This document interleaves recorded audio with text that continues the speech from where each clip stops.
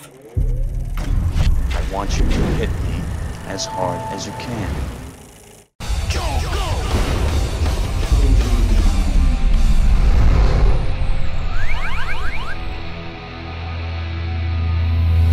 Just when you thought Marvel couldn't get any bigger this year than Civil War, along comes Benedict Cumberbatch as the Sorcerer Supreme, Doctor Strange. And with its trippy visuals and journeys to fantastical worlds, this flick has been hyped up to be the game changer for the Marvel Cinematic Universe. And that is certainly more than you can say for the original film incarnation of Doctor Strange, back when he was just the star of a 1978 TV movie that aired on CBS, which was also airing The Incredible Hulk and Amazing Spider-Man TV shows that year as well, and made this movie as a way of opening the back door for another Marvel TV show starring the Good Doctor. But the flick got its ass whooped in the ratings that night by a rerun of Roots, and the hopes for a Doctor Strange TV series were dashed immediately. But hey, if that Captain America TV movie could give me some joy, I see no reason why Doctor Strange couldn't do the same. After all, it is the one Marvel TV project that had the most input from Stan Lee himself as a creative consultant.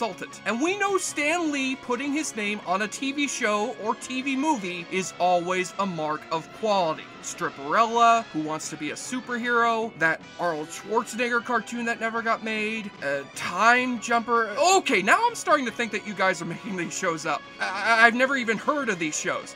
No, seriously, quit lying to me, guys. So we open in another dimension where a demon known only as the Nameless One, who I think is the baby from Eraserhead all grown up, was banished 500 years ago by the Sorcerer Supreme, Lindmer, played by Oscar-winning actor John Mills. Lindmer has grown old and weary, and is planning to pass on his powers to psychiatric doctor, and not neurosurgeon, Stephen Strange, played by Peter Hooten. Who? Oh, you know, he played Tony in the original Inglorious Bastards. Uh, and he was also part of that anti-littering ad campaign from the 70s. Give a hoot, no pollute.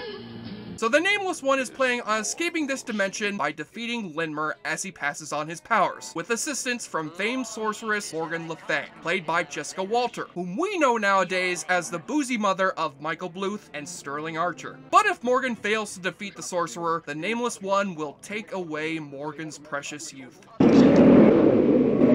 Master! If I wanted something your thumb touched, I'd eat the inside of your ear. So Morgan first tries killing off Lindmer by possessing the mind of a girl named Clea and pushing Lindmer off a bridge. I've fallen and I can't get up. But Lindmer ends up surviving, and Clea's brain is so messed up from having Lucille Bluth all up in it that she ends up in the psychiatric ward run by Doctor Strange. The woman, I dreamed about her. And you're afraid if you go to sleep again.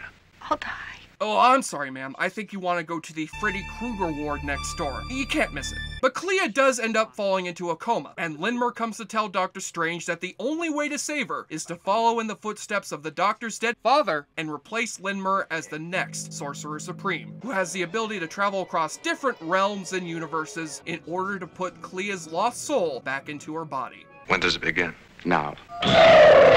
I'm sorry, am I watching Overdrawn at the memory bank all of a sudden? I am so goddamn lost. Though these special effects may make the movie look interesting, even though you can see these same type of effects just by smoking weed and staring at a blacklight poster while listening to Pink Floyd, I can assure you a great deal of this movie is pretty damn dull. It's not so much a superhero movie as it is a subpar episode of Saint Elsewhere, only if Howie Mandel shot lightning from his hands now and then. And it doesn't help that Peter Hooten is a whole lot of bland in the Doctor Strange part. He gives the bare minimum of enthusiasm or charisma an actor needs to sell this stupid movie. And his character spends most of the movie pissing and moaning about how he doesn't want to become a sorcerer. If you want to understand your destiny, would you still choose understanding over ignorance? Yes. 12 seconds later. I don't think I'm ready for this. I mean, the guy doesn't even sport the classic Doctor Strange costume until an hour and 14 minutes into the damn movie. Look at yourself. Yeah, look at yourself, asshole. You look like Ron Burgundy decided to take up LARPing. Boy, that escalated quickly. And I don't even think Lindmer's Asian manservant here is confident this asshole will make a good sorcerer. You're like a child with a loaded gun. You can harm yourself or others. Oh, sure, that's a good superhero tagline. Doctor Strange, he's like a child with a loaded gun. But for all the dull bullshit you have to put up with, there's still plenty of awfully goodness to be found in this flick. I mean, you can't help but laugh at all the utter 1970s of it all. The stupid outfits and glorious porn stash on Doctor Strange, the use of slow motion that makes some scenes look like shampoo commercials, the beyond cheap lightning effects and demon costumes, and the gloriously god-awful musical score that sounds like it was done by John Carpenter's Pet Cat Willie. And don't get me wrong, there's a lot to laugh at here, and a lot of fun to be had with it, but you have to wade through some 70s TV movie sludge to get there. So watch this flick at your own risk. And seeing as this makes two actors with ridiculous last names who have played the role of Doctor Strange, I can only wonder what last name the next actor is going to have. I'm gonna pumpkins, man! Free your mouth and the booze will follow. That's the key to mastering your inebriation as you enter the realm of the awfully good drinking game. Take a shot or drink every time you spot the ancient symbol of light. Ah yes, this must be the A that was once foretold long ago by the master wizard Fonzarelli. Lindmer uses his Jedi powers, oh, I mean magic powers, to wipe someone's mind. This is uh, an unusual situation. This is uh, an unusual situation. Visiting hours are from 3 till 6. May I come in? Come in. And you drop your weapon? And I'll drop my weapon. They recite the spell for casting off demons. I want you to say exactly these words. In the name of Rael, scourge of demons, I command you, begone. In the name of Ryle. Klaatu, Barada. You see someone unleash another glowing laser effect. Hadouken! And take a double shot for the two times Morgan uses her amazing power of disappearance.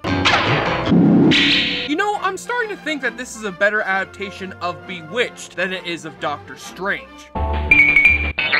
Well, it's better than the Nicole Kidman movie, I suppose. And on the nudie watch, even in this television movie, you'll get plenty of cleavage to ogle on from Jessica Walter. That is, if you aren't scared off by her evil stare like this kid is. Ugh, I don't know what's scarier, Jessica Walter's evil eyes or that kid's wacky face. I mean, that face is scarier than the demonic monster we got in this movie. That much is for damn sure. On the enjoyableness continuum scale from Bull to Bruce, Doctor Strange is stuck between the realms of the magically cheesy and the unbearably crappy, and conjures up a 5 out of 10. Or as it's also known, How I Learned to Stop Worrying and Love Jessica Walter's Cleavage. I'm Jesse Shaver, Joblo.com, and I still wonder what the future could have held if Marvel's TV shows had lasted a little bit longer. Thursday on CBS, it's Doctor Strange, Captain America, The Incredible Hulk, and Spider-Man finally united to save the world together as the Avengers. Lightning bolt! Lightning bolt! Right after an all-new MASH, Thursday. Joe Blow, he